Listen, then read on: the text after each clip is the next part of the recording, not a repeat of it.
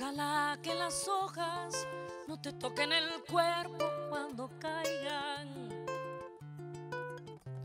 para que no las puedas convertir en cristal. Ojalá que la lluvia deje de ser milagro que baja por tu cuerpo. Ojalá que la luna salir sin ti.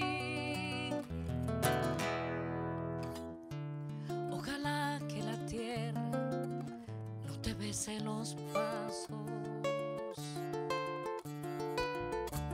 Ojalá se te acabe la mirada constante, la palabra precisa, la sonrisa perfecta. Ojalá pase algo que te borre de pronto, una luz cegadora, un disparo de nieve. Ojalá por lo menos que me lleve la muerte para no verte tanto, para no verte siempre en todos los segundos en todas las visiones. Ojalá que no pueda tocarte ni en canciones. Mi vida ha cambiado espiritualmente tanto, tanto, tanto, que creo que me he llamado a la pureza del espíritu, toda la, la contaminación de la vanidad. Eh, te cuento eso porque realmente entonces cuando en cuanto aparece una palabra o una nota que, que siento que no va a edificar, que no va a reconstruir, no va a restaurar mi corazón, pienso que va a ser nociva para cualquiera que lo diga. Y no porque los dobradores escriban cosas nocivas, sino que justamente me voy hasta los trovadores porque ahí está lo más lindo que se escribe en este país. Tengo un compromiso hacia el bien, tengo un compromiso a, a que podamos dar un paso decidido a, a crecer, ¿sabes? A veces cuando nos estamos, todas las personas en el mundo tienen problemas, todas.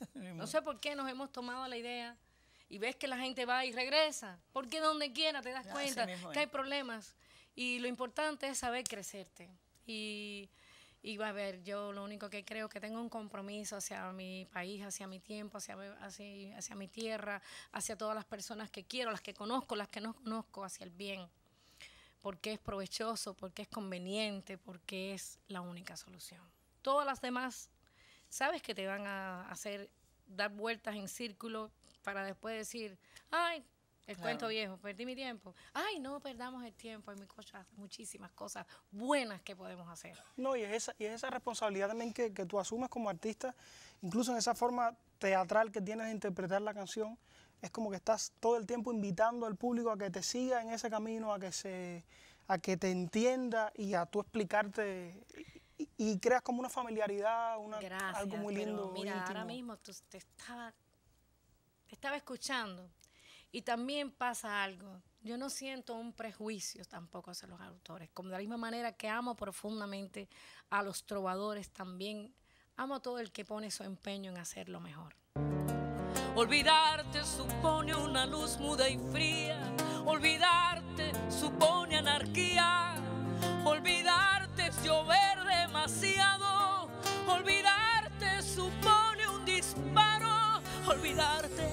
Se llena de intentos. Olvidarte reclama mil vientos.